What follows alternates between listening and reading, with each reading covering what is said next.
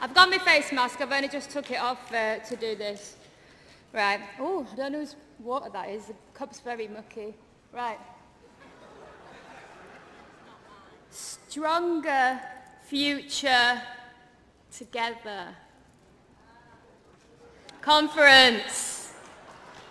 I'm Jennifer and I'm moving this rule change on behalf of Sheffield Heeley CLP. I'm really pleased to be able to support this rule change because the Labour Party has everything to gain from a bit more democracy, transparency and accountability and that's what this rule change represents. First of all, I'd like to nail the lie, the lie that this rule change allows conference to interfere with outstanding disciplinary cases or allegations of sexual harassment. This is simply not true. For shame. For shame. This rule change asks for a report from the Chief Whip on disciplinary matters and allows conference to review this disciplinary action if there is significant support from delegates to do so. This rule change applies only to Chief Whip decisions in relation to the PLP. The Chief Whip does not make a decision of suspension in relation to party disciplinary matters. They're kept separate, including in relation to protected characteristics. And it should be up to conference to hold political decisions to account. Conference. We all want a Labour government. Many of us desperately need a Labour government. I know I do.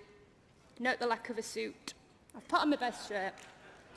We can only achieve that if we all work together. Members of Parliament in Westminster, Cardiff and Edinburgh, our mayors and councillors, our trade unions and our grassroots members. We cannot have the section of the part, one section of the party waging war on another when we should be fighting the Tories.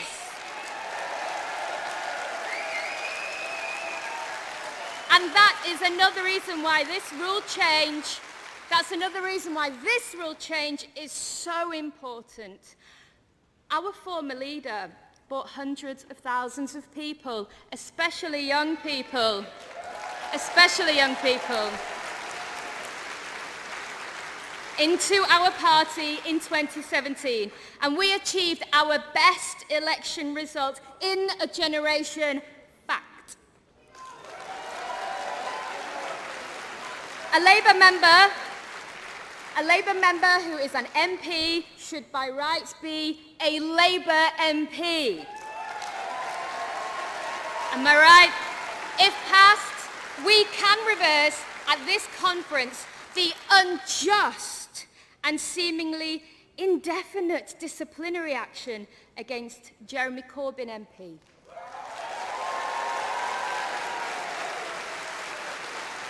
Please start, please support and let's start to heal, heal the wounds and build the unity we need to win a general election. Stronger, future together. Thank you very much. Bill me for the mic.